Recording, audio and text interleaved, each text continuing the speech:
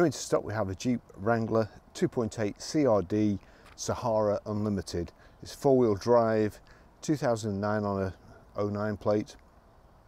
Um, says here it's a standard tr truck with low miles, only done 55,670 miles. Uh, fuel economy, urban is 21.7, extra urban 33.2 and combined is 28.2. 0 60 time of 11.7 seconds, top speed of 107 miles per hour out of 174 brake horsepower, 16 valve engine. Six month road tax, 313 pounds 50 and uh, 12 months is 570 and the car's got an MOT until the 11th of the 7th 2020 it's uh, quite an interesting car I've got to say.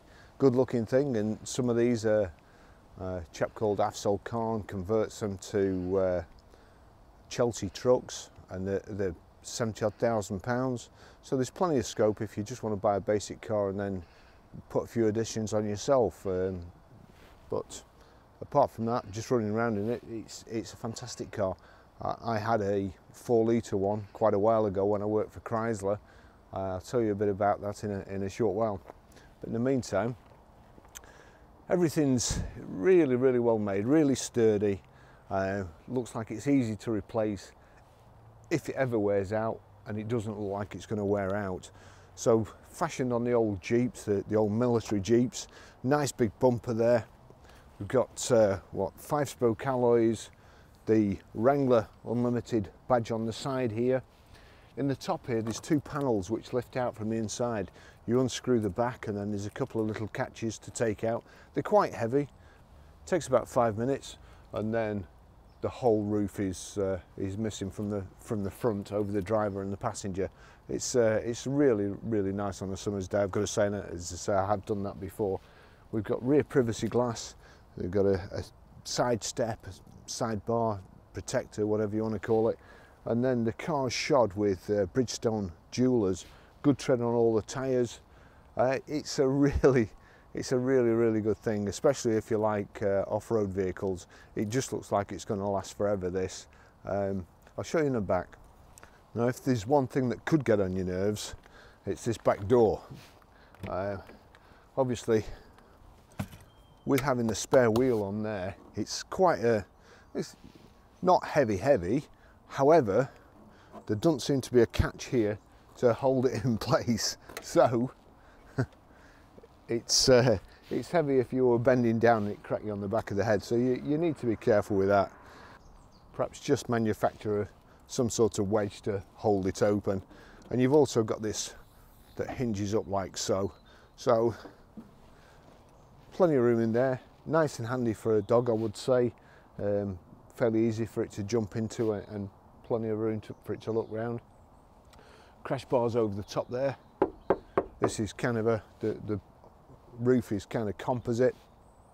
So you've got a crash bar or rollover bar over the driver and one over the back there. So and now it's raining.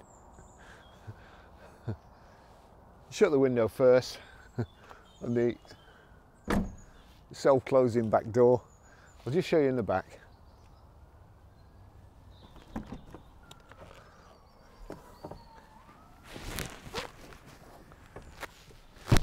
it's a bit of a hike up on the uh, roof bar there is fairly low so you've got to bend to get in as well but apart from that there's that's where I would normally have my seat um, plenty of leg room.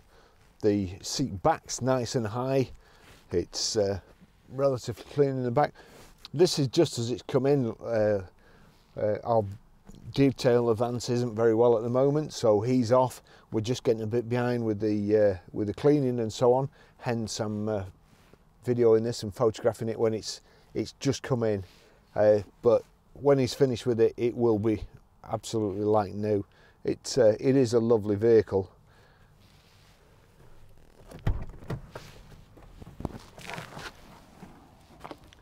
I have to say it's easier getting in than out, but uh, if, if it's kids in the back, they'll just hop on this sidebar there and, uh, and jump in. I'll just take you for a ride in it.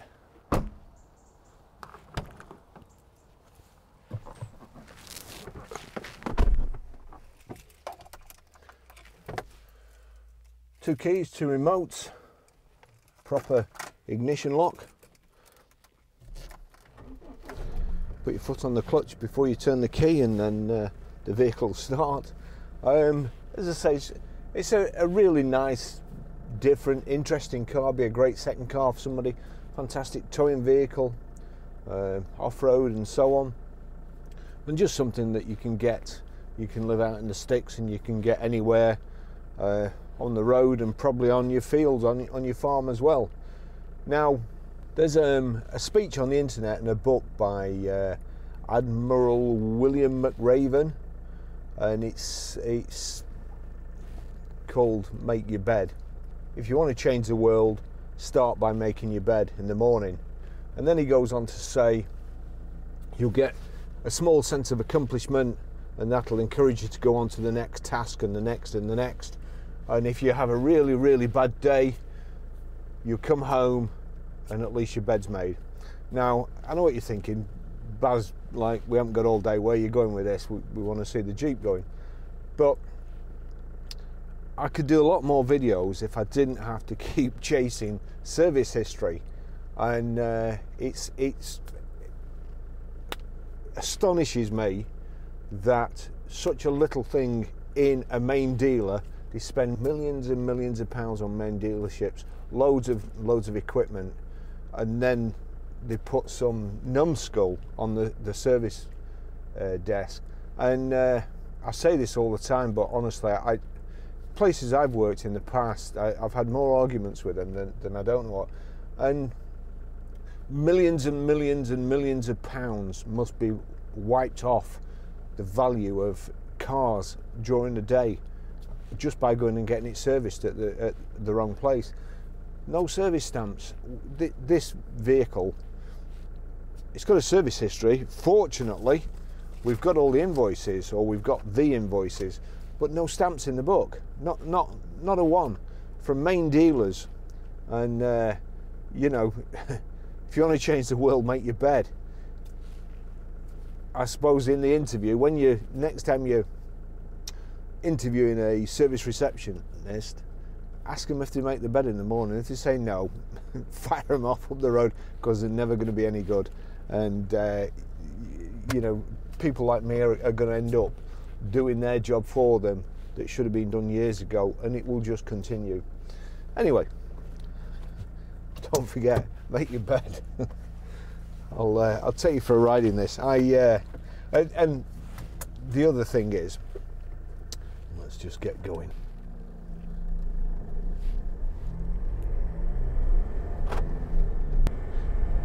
I've worked for many main dealers, including a, a Chrysler dealer, a Jeep dealer, and uh, one thing I've learned is that you should. There's three people you should make friends with immediately.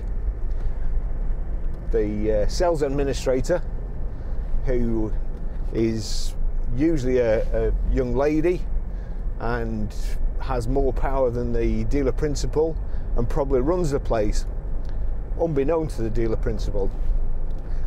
Then the best mechanic, you should always make friends with them because they'll save you hours and uh, lots of aggravation with your customers.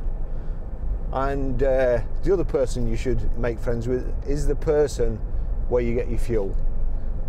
When I went to uh, I went to a garage called Hatfields, and they were Jeep dealers, and it was a great garage run by great people with great people actually uh, in the in the garage too. A great staff, all of them. Fantastic outlook. We we had a real good time. Uh, unfortunately, the day I got my new demonstrator, which was a Chrysler, well, a Jeep Wrangler, four litre petrol, there was a tanker strike and petrol rationing, and uh, you could only get, I think, I think it was six pounds. You were limited to six pounds worth of fuel, and it was my weekend off. Just got my new demonstrator, and of course, the first thing you want to do in a, your new car is go for a, a, nice drive. And in that particular case, you could have the doors off and the, the roof panels out. It, you know, it was uh, like GI Joe. Anyway, so fortunately, I had made friends with the, the uh, young lady on the uh, at the fuel station, and she let me fill my Chrysler Jeep up right to the top, which was great. So my weekend off. Unfortunately, there was another lad there called Graham, another salesman, and Graham had booked a demo. Said he'd booked a demonstrate demonstration in for the weekend in my Jeep 4 litre, which meant he got to go home in my car with a full tank of fuel, and I got to go home in his shitty Chrysler Neon. So, uh, but I, I, I, did get him back on several occasions for that. And uh, anyway, sorry, back to the car. So it's it's kind it's kind of defender style driving, probably better than defender, really, the older defender anyway. Um, but a lot less money. There's we've done our research on these. There seems to be a good market out there for them. And, and, to be fair, within 10 minutes of us putting it on the internet, we had an inquiry on it. So uh, I'm, I'm thinking it, it, won't be with us long, but I've been wrong before. It's quite a good spec. You've got electric front and rear windows. The I think the electric rear windows only operate from the front here, so if you have kids, they can't mess about with them. That's handy. Um, everything about it is really, really sturdy. Bonnet catches with rubbers holding them on and so on. As I say, these panels here, there's little kind of catches. There's a catch at the front, and then there's a safety catch here. You have to unscrew these. There's there's two screws at the back, and they, they seem, to be fair, they seem to go on for ages. Uh, I think that's probably a little bit of overkill on Jeep's part, but you won't want them flying off on the motorway. So uh, you've got a CD radio, and uh, we've got cruise control here on the right hand side of the steering wheel. Steering wheel's all good, you can see everything. Nice view of the dash, nice view of the uh, switch gear on the side here with the uh, with your cruise control. It's not that fast to 60, 11.7 seconds, but to be fair, it's fast enough. I'm going to take you down the motorway. So it's a nice driving position. Steering's good, good tyres on this. There's something to hold on to there when you're off road. And uh, the doors, the, the check straps. One of the things I said about the, the back door, there's, uh, there's nothing to hold it open. It's the same with the, the, all the doors. They're actually on a strap, like a canvas strap, not a, a, a metal check strap which, which locks into place. But again, not, not too much of a problem really.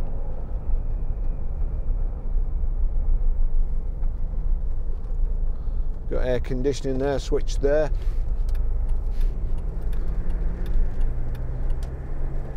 But uh, all this panel from here to there all lifts off. And it's a, it's a really good fun vehicle, I suppose. Certainly be good for going off-roading or uh, razzing around on Southport Beach.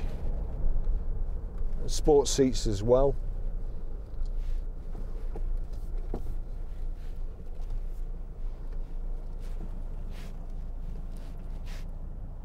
There's side steps and side protection bars, I suppose.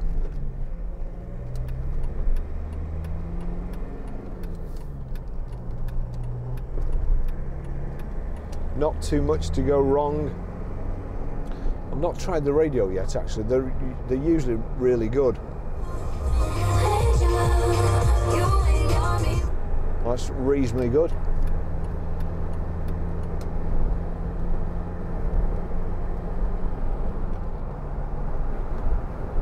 we're doing, let's see, it is six speed, just see if we can get up to 70. There's a van coming up the outside there. We're nearly at 70 there. So cruise there, set, he's, oops, set he's down. There we go, 70 miles an hour, 2000 revs, six gear, reasonably quiet. When you bear in mind this front screen is flat, looks like you could just, if you smashed it, you could just put a pane of glass or a pane of perspex right across it and it would fit perfectly. Flat side windows, up and down, like the Defender.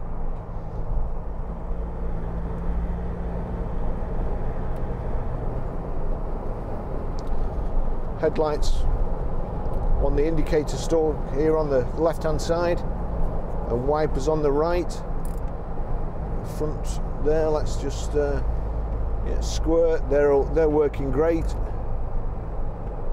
What about rear wiper? Yeah rear wiper squirt and that's working all right. Not sure why there'd be two bobbies the side of the road there with no sign of the car. Must have broken down somewhere or I missed it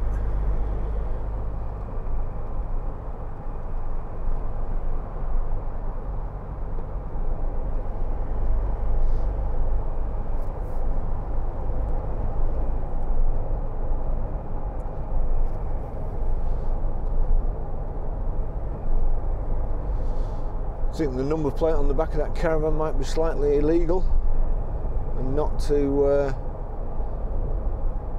government specifications.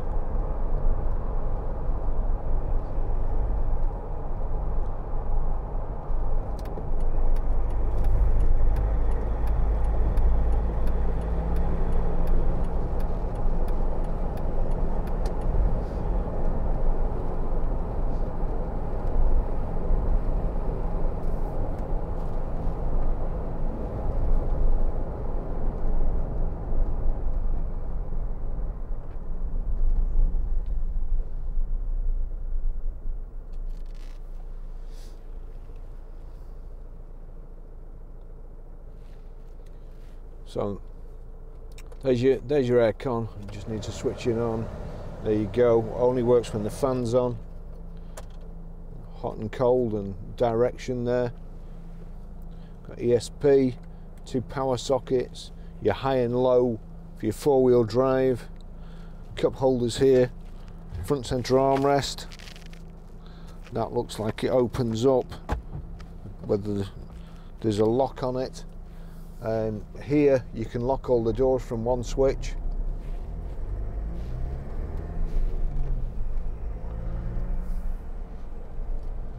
The traffic officers uh, spoiling my route.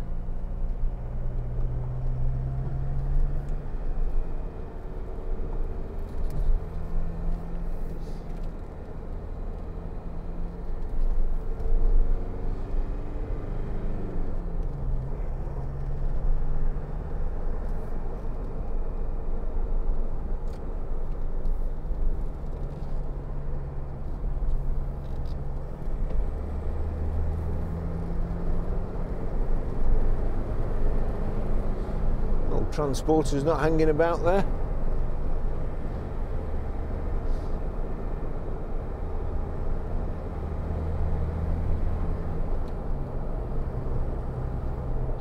Going too fast. So it may be a bit of a plodder this, but uh, you can still go too fast in it. The back seats fold down as well. Got a proper kind of swan or gooseneck tow bar on the back.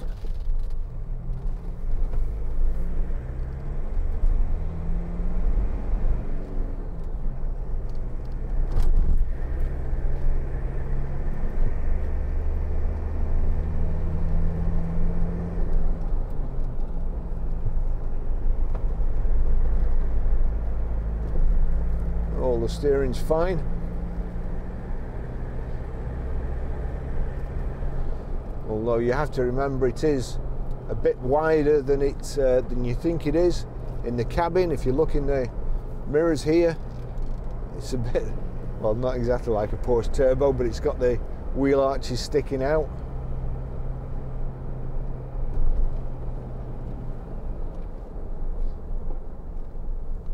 Nice to drive.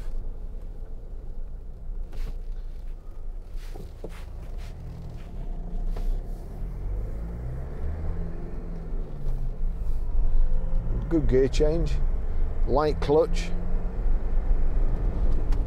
plenty of room there as well. I've got my big boots on. big winter boots.